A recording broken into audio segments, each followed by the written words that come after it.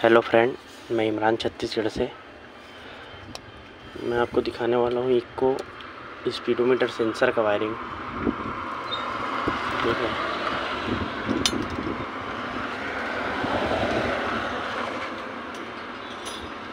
red में black जो है ना